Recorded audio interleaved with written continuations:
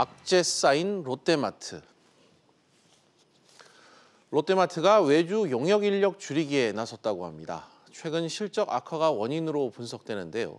강산 기자와 좀 더 자세한 이야기 나눠보겠습니다. 강 기자, 네.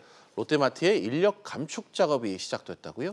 그렇습니다. 이 지난달 말부터 안전 분야 용역 인력 감축을 시작한 것으로 확인됐습니다. 이 롯데마트는 시설과 안전, 카트, 그리고 미화 이렇게 네개 부분 인력을 외주 용역에 맡기고 있는데요. 점포 입구와 이 매장 내 보안을 책임지는 이 안전 인력에 대해서 인력 감축을 하기로 결정한 겁니다.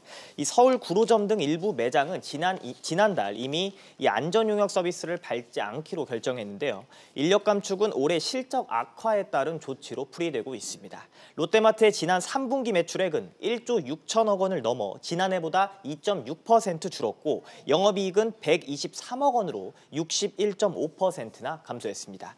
특히 국내 영업점만 놓고 봤을 때는 이 지난해보다 영업이익이 90%가량 급감했습니다. 한 기자, 지금 이 그룹 차원에서 진행되고 있는 이 비상경의 일환으로 봐야 될까요? 그렇습니다. 이 황갑규 롯데부회장은 지난달 말 이 비상 경영을 선포하며 인력 효율화의 중요성을 강조했는데요. 사업 실정이 크게 악화된 상황에서 이 먼저 외부 용역 비용을 줄이려는 조치로 해석됩니다. 롯데마트는 국내 점포가 지난해 손실 160억 원으로 이 적자 전환한 데 이어서 올해도 마찬가지로 크게 적자를 적자를 대규모로 낼 것으로 예상하고 있습니다. 이번 외주 인사 감축과 관련해 롯데 측은 이미 올해 초에 이렇게 내부적인 결정이 있었고 점포 지역별 방문객 수와 매출, 이 비용 등을 고려한 결정적인 조치라고 인력 효율화 차원이라고 설명을 했습니다. 그러면서 다른 분야는 운영상 당장 감축이 어렵기 때문에 우선적으로 안전 분야에 대해서 이렇게 용역을 진행을 했고 상황에 따라서 확대될 수도 있다고 덧붙였습니다. 네, 황, 황 기자. 이 공정위가 어제 부과한 과징금 얘기도 좀 해볼까요? 네. 이 과징금에 대해서는 어떤 반응을 지금 보이고 있습니까?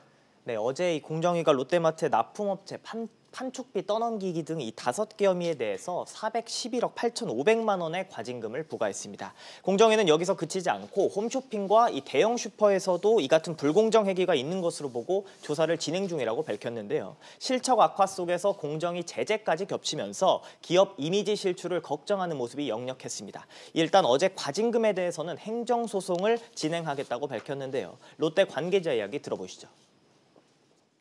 저는 공정위 심의 결과가 유통업 이해가 좀 부족한 부분에서 나온 결과라고 생각이 됩니다. 뭐 이런 결과 때문에 기업 이미지에 심각한 해를 끼치고 있는 바 양사는 법원 판단을 다시 한번 받아볼 계획입니다. 한일 갈등으로 부각된 일본 기업 이미지와 실적 악화, 여기에 이 공정위 조사까지 비상경영 체제에 돌입한 롯데가 이 인력 효율, 인력 효율화만으로 돌파구를 찾을 수 있기란 사실상 좀 어려워 보입니다. 네, 강 기자 잘 들었습니다.